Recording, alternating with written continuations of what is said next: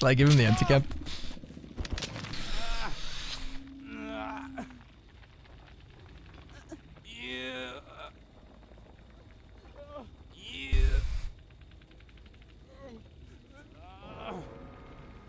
How long does it take?